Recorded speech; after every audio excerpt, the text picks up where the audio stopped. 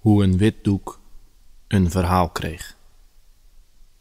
Een wit doek, een kaal canvas, een zwarte kwast bestrijkt de vlakte.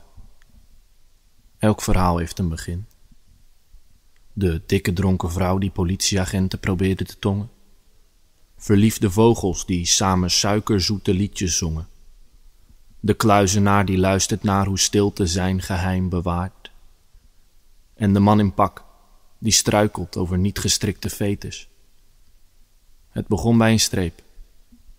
Van pen of kwast of gedachte die het witte doek begin gaf en het lege schrift een zin gaf. Zwart werd zwarte. Zin werd zinnen, begin werd midden en kaal vertrok, verhaal nam plaats. Maar wat is een verhaal dat niet wordt gelezen? Een hoofdrol spelen zonder vrezen, een lied gezongen zonder publiek, een ziekenhuis maar niemand ziek. Een schilderij dat niemand ziet. Sinterklaas, geen zwarte piet, een kast gevuld met niets, een fietser zonder fiets. Jij maakt dit verhaal een verhaal. Want zonder jou was dit nog steeds een wit doek, een kaal canvas.